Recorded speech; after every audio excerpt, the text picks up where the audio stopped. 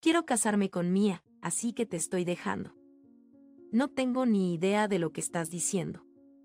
Justo después de dar a luz a nuestro hijo, una joven que nunca había visto antes vino a mí con James mirando incrédulo. James me dijo con una cara como si fuera lo más natural del mundo, porque desde que nos casamos, no has hecho más que mandarme y tienes una mala actitud. Pero fue Mía quien estuvo ahí para mí cuando necesitaba a alguien con quien hablar. Me dio pena pensar que lástima que estuviera siendo mandado por su esposa, pero la verdad es que era al revés. Tú no haces nada a menos que yo te diga. Quería gritarle eso, pero estaba demasiado confundida para articular palabras. Este niño será criado por nosotros. Nos llevaremos al bebé. ¿Qué has estado diciendo todo este tiempo? Mi cuerpo no se movía como yo quería debido al cansancio posparto, y aunque quería gritar, ni siquiera podía levantar la voz. Finalmente, Jane se acercó a la cama donde dormía nuestra hija. Fue entonces cuando ocurrió, perdona, hubo un golpe en la puerta de la habitación del hospital. Cuando la puerta se abrió, entró Brandy. Cuando descubrieron la verdadera identidad de Brandy, los dos palidecieron y temblaron ante la llegada de una cierta persona. Brandy me llamó, soy Melin Baker, tengo 31 años y actualmente estoy embarazada de mi primer hijo. Mi esposo, James Baker, y yo éramos colegas en la empresa a la que ingresamos como recién graduados. En esta empresa, es costumbre que a los empleados de segundo año se les asigne compañeros para enseñarles las cuerdas a los nuevos empleados. La filosofía parece ser que no eres completamente capaz hasta que puedes enseñar a otros. James fue muy amable conmigo y me enseñó mi trabajo con mucho cuidado. Respondió a mis preguntas sin un atisbo de molestia y ofrecía la cantidad justa de ayuda cuando me quedaba atascada. Estaba realmente agradecida de tener un compañero tan amable. Pasó un año en un abrir y cerrar de ojos y ahora me tocaba ser compañera de un nuevo empleado. Incluso entonces, recibí consejos de James sobre cómo enseñar y comunicarme de manera efectiva, y creo que pude construir una muy buena relación con mi subordinado pero James no era especialmente amable conmigo solo porque éramos compañeros.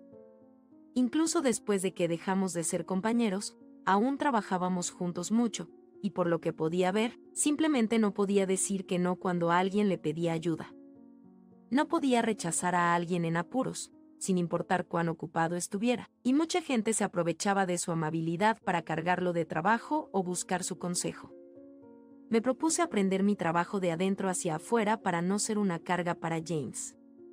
Hubo una vez que James se desplomó por exceso de trabajo. Todos los demás se sorprendieron, pero yo pensé para mí misma que sabía qué pasaría. Sentía que mis esfuerzos por sí solos no significaban mucho porque los demás no dejaban de depender de James. Aún así, lamentaba que James hubiera llegado al colapso, y cuando confesó que yo fui la primera en cuidar de él de esta manera, terminamos casándonos. Un año después de nuestro matrimonio fue muy feliz, quizás porque le pedí que no se excediera. James no asumió tanto trabajo como antes, pero aún no podía decir que no cuando se lo pedían, y a veces se excedía. Pero esa bondad de James es una de sus fortalezas. Me aseguré de cuidarlo para que no se excediera. Entonces me enteré de que estaba embarazada. James estaba emocionado, y yo también, pero resultó que tenía una fuerte náuseas matutinas. A pesar de estar al principio del embarazo, me golpearon fuertes mareos y náuseas, y no pude ir a trabajar. Se suponía que trabajaría un tiempo más, pero terminé tomando licencia de maternidad anticipada, combinándola con los días de enfermedad que había acumulado. Incluso de baja por maternidad me sentía terrible. Había oído que las náuseas matutinas podían ser malas, pero no esperaba que fueran tan malas. Era difícil incluso levantarme, y aunque solía levantarme antes que James para preparar el desayuno y despedirlo al trabajo, ya no podía hacerlo. Estaba postrada en la cama la mayor parte del tiempo, pasando la mayor parte del día hundida en el sofá. Y nuestras cenas eran cada vez más a base de comida para llevar o comida preparada. Lo siento, pero hoy también es solo comida preparada. Está bien, la comida está buena. Mi dolor de cabeza era terrible y la cena era comida preparada de nuevo hoy, pero James la comió sin quejarse. Nunca se quejaba, pero tampoco decía mucho más. El caso es que James a menudo actuaba como si no tuviera nada que ver con lo que yo estaba pasando.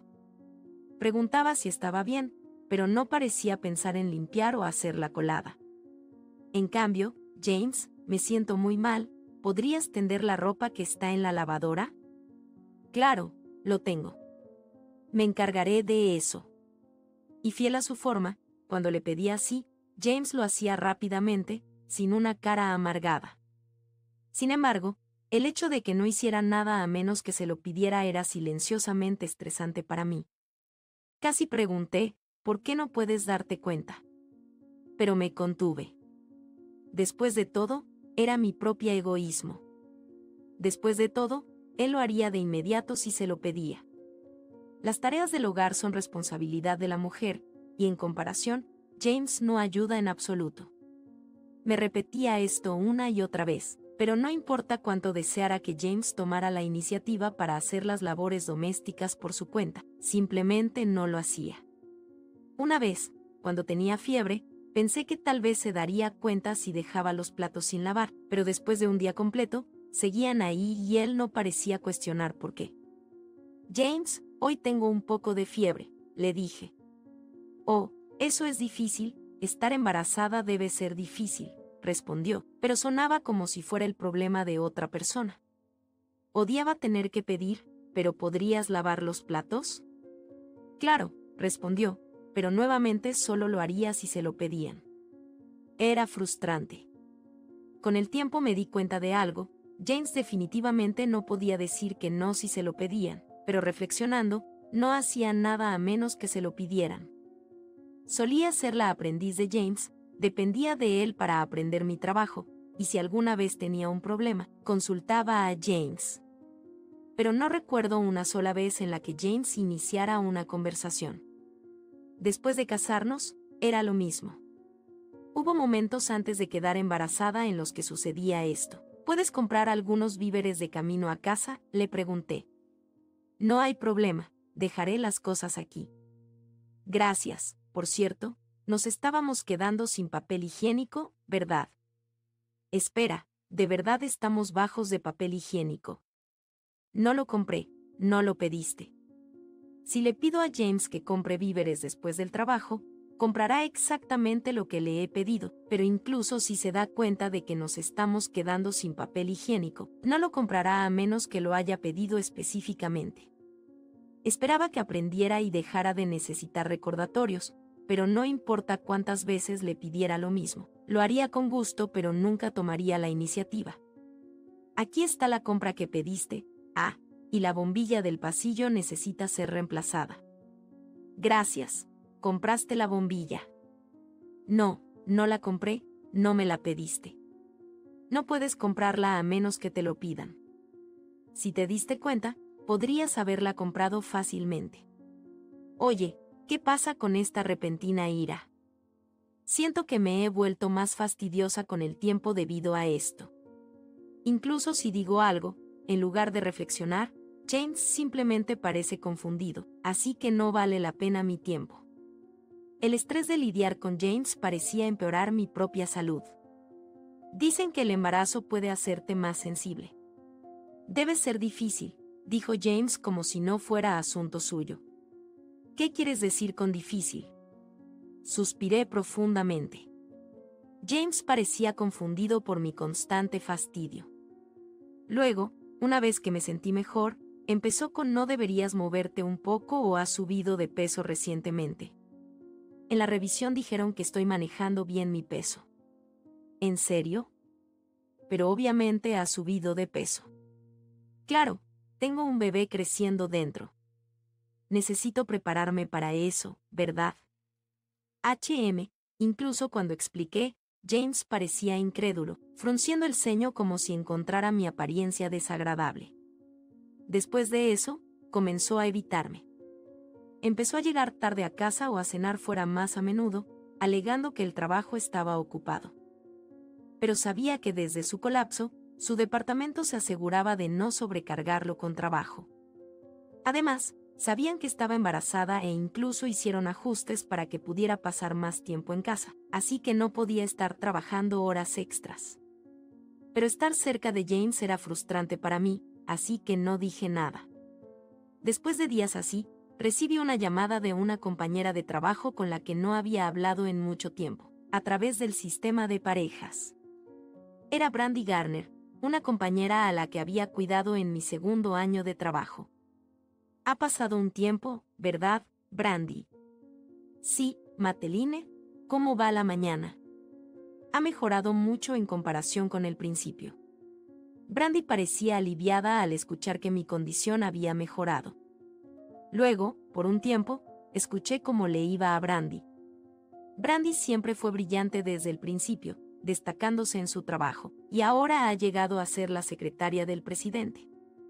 A pesar de ser mucho más exitosa que yo, todavía me considera su mentora. ¿Y tú, Mateline, cómo estás? Después de escuchar la actualización de Brandy, ella me volvió la pregunta. Me siento mejor, pero hay algunos problemas con James. Mientras le contaba a Brandy mis problemas recientes, su rostro se volvió serio. Compartí mis problemas recientes con Brandy, sobre cómo James no hace nada a menos que se lo pidan, su escasa percepción y su falta de iniciativa. Mientras hablaba, sin embargo, empecé a preguntarme si tal vez estaba esperando demasiado. Después de todo, estar embarazada no significa estar enferma. Quizás he sido demasiado dependiente de James. Eso es horrible. Contrario a mis dudas, Brandy fue rápida en juzgar. Lo siento, no debería hablar así de tu esposo. Esposo, pero honestamente, eso no está bien. La firme postura de Brandy de alguna manera fue reconfortante. De hecho, James ha sido poco cooperativo conmigo durante mi embarazo, incluso si no lo hace a propósito. El hecho de que no haya mejoras a pesar de mis recordatorios significa que simplemente no está dispuesto a cambiar. Últimamente, es como si me estuviera evitando, diciendo que tiene mucho trabajo y llegando a casa tarde. ¿Realmente crees lo que dice tu esposo sobre su trabajo? La pregunta de ella aceleró mis latidos cuando Brandy, valientemente, expresó lo que yo temía pensar. No quiero ni pensarlo, pero ¿podría estar engañándome? El engaño, algo en lo que he pensado muchas veces recientemente, porque ahora el departamento de James se supone que está tranquilo, nadie hace horas extras. Suspiré. Sí, tienes razón. La razón más común para pretender trabajar hasta tarde y no regresar a casa sería una aventura amorosa. Quiero creer que solo me está evitando porque me quejo demasiado, pero entonces me pregunto con quién está pasando su tiempo y dónde. Brandy, lo siento por preguntar, pero si notas algo sospechoso en el comportamiento de James en el trabajo, ¿podrías decírmelo? Creo que también haré algunas averiguaciones. A pesar de preguntarle a Brandy, James parecía estar evitándome. Aunque se suponía que era un periodo tranquilo, comenzó a trabajar hasta tarde e incluso venía los fines de semana.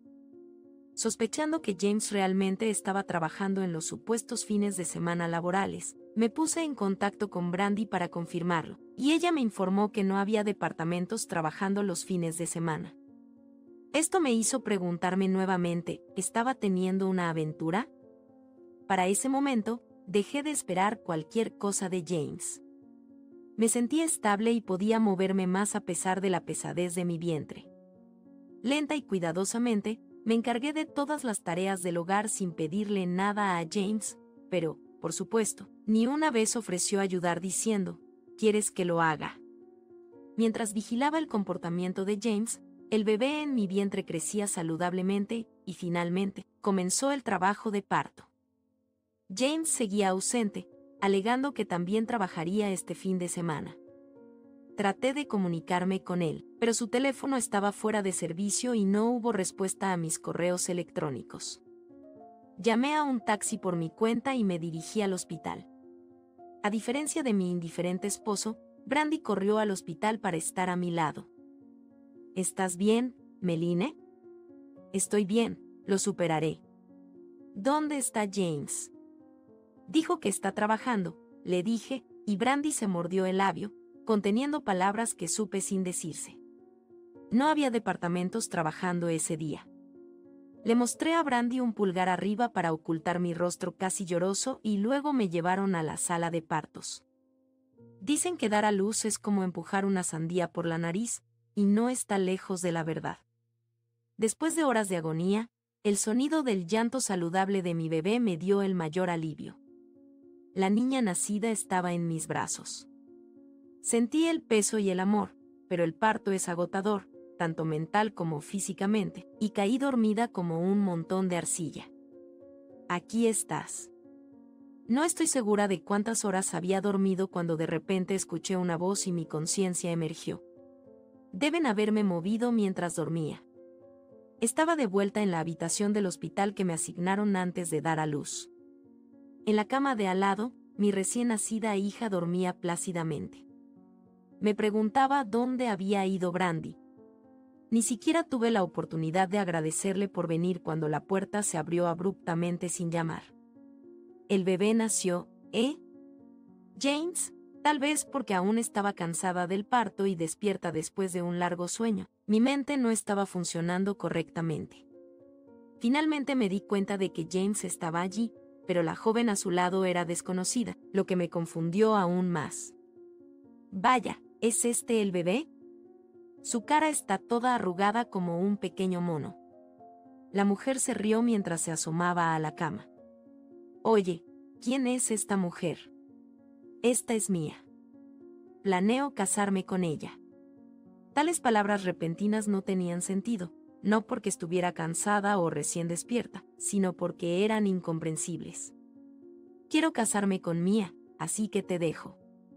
No tengo idea de lo que estás hablando. Mirando incrédula, James me dijo con una expresión como si fuera lo más natural del mundo. Porque desde que nos casamos, no has hecho más que ordenarme y tienes una mala actitud. Pero Mía fue quien estuvo allí para mí cuando necesitaba a alguien con quien hablar. Me dio lástima pensar cuán lamentable era que lo estuvieran mandando alrededor su esposa. Es al revés. No haces nada a menos que yo te lo diga. Quería gritarle eso, pero estaba demasiado confundida para articular las palabras. Mia solía estar seriamente enferma y no puede tener hijos, dijo James con una mirada dolorida mientras miraba a Mia. Los ojos de Mia se humedecieron mientras se acurrucaba más cerca de James. Así que pensé que era perfecto, ya que yo tengo un hijo. No podía comprender lo que se decía. Verdaderamente no podía entenderlo. Pero James, como si fuera lo más natural del mundo, señaló a mi hija que dormía a mi lado. Nosotros criaremos a este niño. Nos llevaremos al bebé. ¿Qué demonios estás diciendo? Quería gritar, pero no pude hacer más que un susurro debido al agotamiento del parto. Finalmente, James extendió la mano hacia la cama donde dormía nuestra hija. Fue entonces cuando sucedió. Disculpa un golpe en la puerta de la habitación del hospital. La puerta se abrió y entró Brandy. Brandy, felicidades por tu parto, Meline. Lo hiciste realmente bien. Brandy se acercó, me miró y sonrió amablemente. Fue entonces cuando me di cuenta de que no había recibido ni una sola palabra de agradecimiento o preocupación de James. ¿Me había convertido en nada? más que un medio para que Juan le diera un hijo a María, quien no podía tener uno, mientras yo estaba en SOC, Juan se interpuso entre Brandy y yo. Brandy, del Departamento de Secretariado, ¿por qué estás aquí? ¿No te das cuenta de que es tiempo de familia? María rió ante las palabras de Enrique, tiempo de familia, entonces ¿qué hacía él aquí? Temblaba de ira cuando Brandy inclinó la cabeza con expresión tranquila, ¿qué están haciendo aquí ustedes dos? Juan, ¿qué estabas haciendo mientras tu esposa daba a luz, arriesgando su vida? Bueno, y Melina, traje las cosas que pediste, ignorando a Juan, que murmuraba incómodamente con una mirada culpable en su rostro. Brandy se volvió hacia mí con un sobre en la mano, quizás sea mejor esperar hasta que te calmes un poco. Está bien, no quiero que escape. Además, Mía está aquí también. No pensé que realmente vendría. Le di una sonrisa irónica a la mirada preocupada de Brandy, mientras Juan y María nos miraban a ambos con cara de desconcierto. Así que quieres el divorcio y quieres estar con María, ¿eh? Espera, a pesar de haber hecho una declaración tan incomprensible antes, ahora que Brandy estaba escuchando, Juan comenzó a dar excusas de manera apresurada, diciendo que no era eso a Brandy. Me ha estado haciendo la vida imposible desde que quedó embarazada. He estado hablando con esta persona al respecto. Brandy murmuró, ah, sí. En respuesta a la afirmación de Juan de ser una víctima, ¿así que has estado fingiendo hacer horas extras y derrochando regalos a tu amante? No, no es así. Este es tu registro de tarjetas de tiempo. Todos los días que le dijiste a Melina que estabas haciendo horas extras, saliste a tiempo. No hay registro de trabajo los fines de semana, ¿cómo podría saberlo? Fui yo quien le pidió que investigara. Con mis palabras, los ojos de Juan se abrieron de sorpresa. Brandy, aprovechando al máximo su papel como secretaria del presidente, había obtenido los registros de movimiento de Juan de cada departamento. Los registros de asistencia, los registros de salida y los gastos habían sido revisados, y estaba claro que Juan no había estado trabajando en exceso en absoluto. De hecho, su departamento estaba en un periodo lento.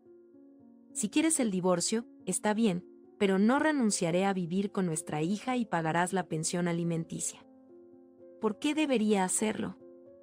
Es tu cambio repentino de comportamiento lo que causó esto. Deberías pagarme entonces deberías haber pedido el divorcio desde el principio en lugar de engañar, ¿sabes? Solo para que lo sepas, tengo todas las pruebas de tu aventura. Dije, y Brandy le entregó a Juan el sobre. Había contratado a una agencia de detectives para investigar la infidelidad de Juan. Los hallazgos por teléfono eran condenatorios. Iba a recoger las fotos y documentos que servían como evidencia, pero el parto había comenzado, así que Brandy fue a buscarlos por mí. Dentro del sobre había fotos de dos personas caminando por la calle tomados de la mano, pareciendo una pareja para cualquiera que no los conociera. Tenían la cercanía de una pareja. Todas las pruebas están aquí. No hay escapatoria ahora. Le lancé una mirada furiosa a María mientras hablaba, y ella tembló de miedo. No es así, las lágrimas se acumularon en sus ojos mientras se acercaba a mí. No sabía que Juan estaba casado, pensé que estaba divorciado con hijos. Así que pensé que si no puedo tener hijos, quiero ayudar a criar al hijo de Juan. María sollozó, pero fruncí el ceño pensando que su historia era un poco exagerada. Después de todo, Juan acababa de pedirme el divorcio hace un momento, a pesar de que estaba riendo a mi lado un momento antes. No soy la mala aquí, solo quiero criar a un hijo con la persona que amo. ¿Por qué debería ser regañada por eso? exclamó María, con su brújula moral aparentemente desordenada, dejándome asombrada. En este punto, parecía que no servía de nada discutir o persuadirla de lo contrario. Brandy, que había escuchado todo el intercambio, soltó un suspiro profundo. Menos mal que lo llamé murmuró Brandy antes de abrir de par en par la puerta de la habitación del hospital, y allí estaba el presidente, un hombre con presencia, pareciendo exasperado. Juan se enderezó como si lo hubieran sacudido. Nunca lo había conocido en persona, pero reconocí su rostro. Oye, Juan, vin porque mi secretaria me llamó, ¿y qué situación es esta? Oh, esto es. Juan estaba en completo pánico, sin haber esperado que el presidente de su empresa apareciera. Por supuesto, yo también estaba sorprendida. Le había pedido ayuda a Brandy, pero no tenía idea de que había involucrado al presidente. Melina, perdona por irrumpir así. En primer lugar, felicitaciones por tu parto. Oh, muchas gracias tartamudeé, mi tono cambiando por completo de cuando estaba fulminando con la mirada a Juan a una sonrisa gentil del presidente. Me pidieron a mí que recogiera algunos documentos de la agencia de detectives y me aseguré de que fueran correctos. Sí, le dije que estaba bien que los revisara. Y al revisar los documentos, reconocí el rostro de la amante de Juan. Con las palabras de Brandy, miré involuntariamente a María. María apartó la mirada incómoda de Brandy, quién es ella de todos modos. No tenía reconocimiento de María y no sabía dónde Juan la había conocido. Solo sabía por el informe de la agencia de detectives que trabajaba en la recepción de una empresa subsidiaria, contigua a la oficina de Juan. Dijo con un suspiro pesado, sí, ella es la hija de mi hermano. James parecía sorprendido, quizás por haber mantenido en secreto la relación del presidente con Mia. Mia hizo una cara incómoda. Según el presidente, era cierto que Mia había estado gravemente enferma de niña y esa enfermedad había resultado en su incapacidad para tener hijos. Sin embargo, eso la había vuelto bastante consentida por sus padres, tal vez por lástima. Debe haber sido la compasión de sus padres lo que la mimó. Parecía que debido a sus mimos, Mia había crecido siendo egocéntrica, esperando que todo saliera a su manera. Con esa disposición, no podía encontrar trabajo en ningún lado, y sus desesperados padres recurrieron a su tío, el presidente, quien la empleó a regañadientes en la empresa subsidiaria. Y pensar que irías tras una empleada con familia. Pero no hay peros. ¿Cuántas veces piensas repetir los mismos errores? No puedo cuidar de ti por más tiempo. Estás despedida. De ninguna manera, Mia se desplomó abatida mientras el presidente hablaba con firmeza. James, tú también, dejando a tu esposa embarazada para jugar con una joven. Has estado diciendo que tu esposa tiene una mala actitud. Está llevando una nueva vida en su interior, es natural que esté un poco nerviosa. Deberías haber sido más comprensivo en lugar de actuar como siempre. Pug. También tomaré medidas apropiadas dentro de la empresa. Después de darle a James una reprimenda severa, el presidente dijo que llevaría a Mia a casa de sus padres y salió de la habitación con ella. Brandy, su secretaria, dejada sola en la habitación del hospital, estaban solo James y yo. Un pesado y incómodo silencio llenó el aire. Lo siento, Melin, estaba equivocado. James suplicaba conmigo temblando. Olvida todo lo que dije antes, no hay hablar de divorcio. Lo digo en serio, no nos vamos a divorciar, pero estamos. Voy a seguir con el divorcio. Iba a sacar el tema de todas formas, y creo que podemos simplemente pretender que nada de esto sucedió. Eso es demasiado conveniente, pero Meline, ¿realmente creía que podía arreglar las cosas conmigo después de todo esto? Era simplemente insultante. Tenemos suficientes pruebas para el divorcio. Piénsalo. No tenía idea de que Mía fuera así, simplemente comenzó a hacerse la víctima. Pero eso ya no me importa. Lo más importante para mí es que mi hija crezca en un ambiente pacífico. Entonces debería saber que la presencia de un padre sería mejor. Si un padre es poco confiable y un traidor, es mejor que esté sin él. Dicen que el resentimiento del parto dura toda la vida, y no podría ser más cierto. James seguía suplicando que no lo abandonara, pero le dije que si hacía más ruido, llamaría a la policía. Se fue sin decir una palabra más. Después, mi hija y yo fuimos dados de alta del hospital sin problemas. No volví al apartamento donde James y yo habíamos vivido, en su lugar fui directamente a casa de mis padres. Ya les había contado todo, y sugirieron que me quedara y descansara un tiempo estaban encantados de ver a su nieta. James, al darse cuenta de que no había vuelto al apartamento con nuestra hija, vino a casa de mis padres queriendo vivir juntos de nuevo, pero me negué firmemente, insistiendo en que cualquier comunicación futura debería pasar por un abogado. Eventualmente, James y yo nos divorciamos. James prometió pagar la pensión alimenticia adecuadamente. Desde entonces, Parece que James fue trasladado de la oficina principal a una sucursal en el campo. El presidente, viendo cómo James parecía seguir acosándome, aparentemente tomó la decisión de degradarlo efectivamente trasladándolo al campo como medida contra su comportamiento. No había estado involucrado en proyectos significativos desde que colapsó por exceso de trabajo, y al parecer, nadie se vio afectado por su ausencia. Mia, que tuvo una aventura con James fue cortada por su tío, el presidente, y despedida de la empresa. Sus padres, cansados de ella esta vez, al parecer la echaron, como si le estuvieran desheredando. Aunque su enfermedad fue realmente desafortunada, no justifica sus acciones. En cuanto a mí, pude pasar los primeros años de mi hija criándola en casa, tomando las cosas con calma.